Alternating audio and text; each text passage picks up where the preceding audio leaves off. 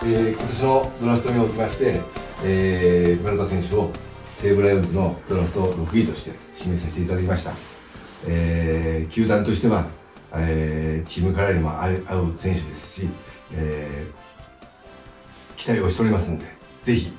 入って一緒に優勝を目指して頑張っていきましょう。よろしくお願いします。お願いします。よろしくお願いします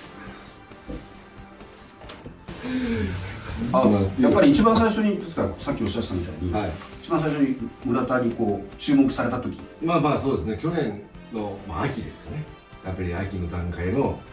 えー、明治神宮大会決定戦だったですね、ね、あの時の金沢学院のピッチャーから打ったホームランがやっぱり印象的だったというのがねありましたね。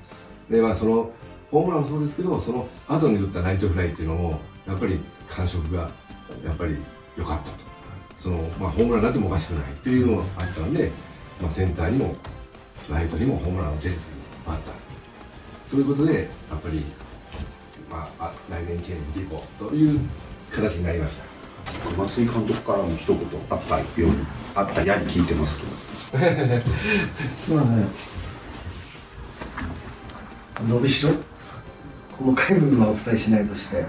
あの技術論も褒めてます。ですからまあ、監督も即とは言わずでも近い将来と思って期待してると思います、はい、ぜひぜひ頑張ってください、はい、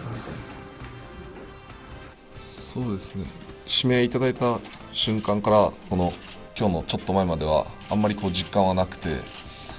さっきお話しさせていただいてようやくプロ野球選手に本当になったんだなっていう実感が湧いてきました。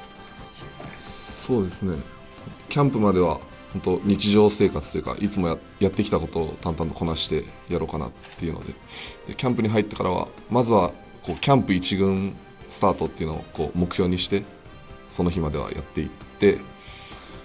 あとは1年間とりあえず怪我がないようにこう先生離脱しないようにいろんな経験積めたらいいなというのが今の目標です。やっぱり率もそうなんですけどどっちかっていうとホームランにフォーカスを置いて、はい、やっていきたいなっていうのが今日湧いてきたので本当に30本と言わず40本50本という日本一のホームランバッターになれるようにやっていきたいなと思います。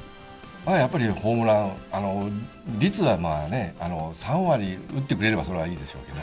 それよりもまあ50本ホームラン打ってほしいなと思います。はい